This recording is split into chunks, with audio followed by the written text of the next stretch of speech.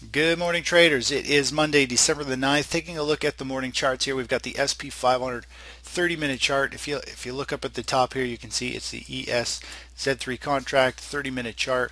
And more or less each one of these horizontal bars here is one trading session between. So we're going back um, about a month and change. Anyways, you can see the market's gone from these oversold uh, pullbacks and how they bounce up the 20 day moving average, which is this green line here more or less last week we dipped into oversold territory, continued to grind its way down, came down to the 20-day moving average, and Friday we got a really strong pop and it closed up near the highs. Now overall, the equities market uh, right now is set to gap higher. We did have a very strong weekly chart closing, which I talked about on Friday morning, and um, that points to generally a continuation for another week or two of higher prices. So we are starting to get a gap higher this morning. It's going to put us into possibly an overbought territory where we'll take some money off the table. Now we did get in uh, depending how you got in on the alert, if you got in on the alert, we got in over here. If you were late or you waited, you might have got in somewhere down here. So we, either way, we're, we're in the green just a little bit, but we do have to pull some money off if the market goes into overbought territory. That's for a couple reasons. The market could be starting a three-wave correction to the downside. This is going to be the first reason for the market to want to uh, roll over and hit resistance. We are into a high volume resistance high.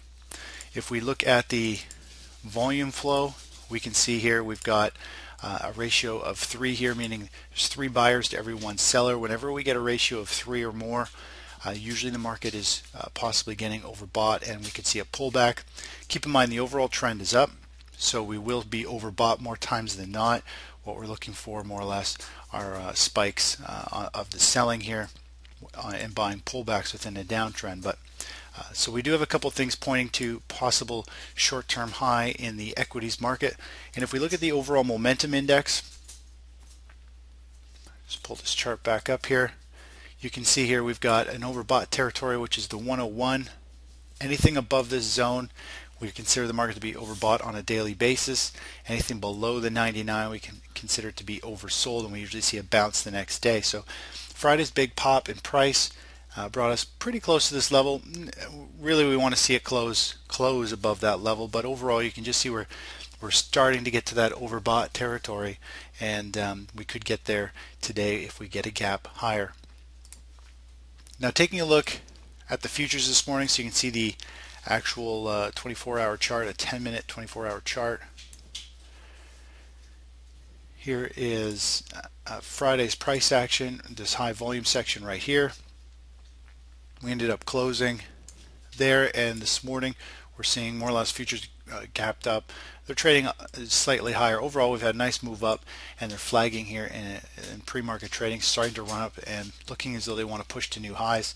And uh, if we do get a, a big run we'll uh, hopefully get a uh, partial profit taken this morning and we could see this run all the way up to around the 1830 level which is uh, quite a bit higher yet to go now taking a look at energies uh, or let's sorry, let's just take a look at the U uh, UUP ETF, the U.S. dollar index.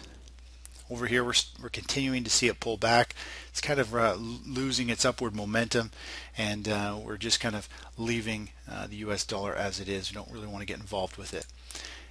Now, taking a look at the crude oil chart, it's a four-hour chart of crude oil. It's had a pop up in price. It's trading up into these previous highs, this mid zone where these two clusters are.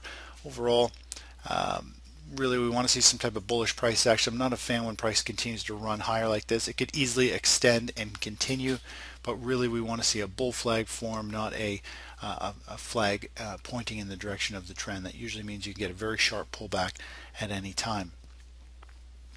Now taking a look at natural gas, here's the 60 minute chart of natural gas continues to to move up there. Let's just go to the daily chart, or we'll go to the four hour chart real quick and you can see here we're having a, a, fairly substantial run. It has yet to show a reversal candle really on the daily chart and I feel as though we're, we're seeing something similar to over here. We had a major run up and then we had a big correction and then we started to see it get up near resistance. Instead it broke away and continued to extend. Same thing, we had a big run up correction. It's been chopping around here. It got up into where we thought was resistance Instead, it's really popped and it's holding and it could easily continue to push to new highs. So the natural gas play, because we didn't get that sharp reversal candle uh, and it's still holding up very strong, really above this upper um, pattern that we were kind of looking at. We were looking for it to be in the sweet spot and get a sharp reversal for this broadening formation. Instead, we didn't get that. It's extended. So now that, that pattern is negated, excuse me, and we're just kind of going to watch it and see how things unfold from there. Now taking a look at the chart of precious metals, this is gold chart.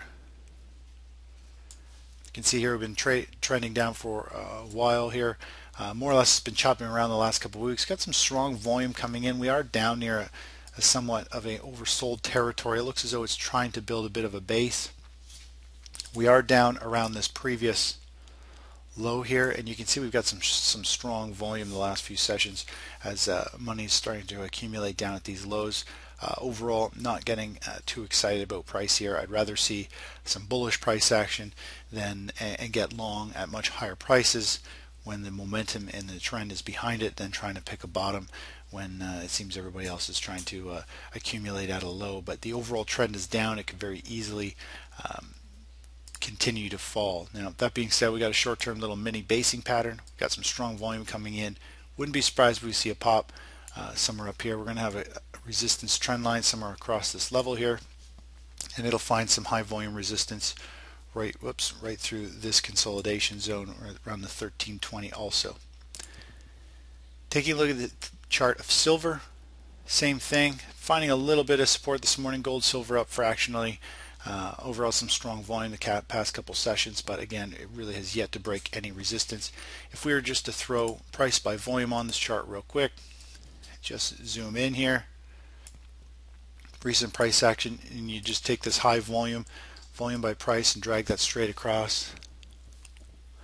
Then you can see here we're still under key resistance price more or less was trading sideways through here and then it broke down on strong volume.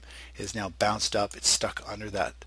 This is now once a floor is now a ceiling and more or less it's trading under that level. So we're still continuing to make lower highs lower lows. The trend is down for precious metals. Now taking a look at the gold miners real quick the GDX ETF it's the four hour chart again. Same thing bearish looking chart. It, it has had a significant run to the downside. Just looking at any of these previous moves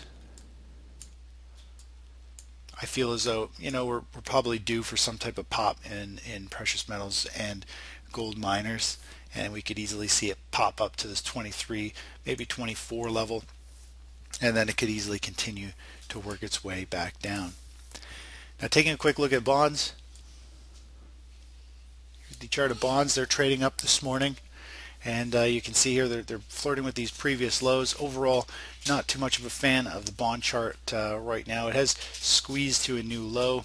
It has this basing formation that it's been trying to form but the fact that it uh, it pierced it uh, last week uh, it was a news based spike. It didn't close anywhere down there so this basing pattern could easily still be in uh, intact but we really do need to see price eventually move up and consolidate and start to uh, build a bullish pattern and a break from this pattern would take it uh, significantly higher.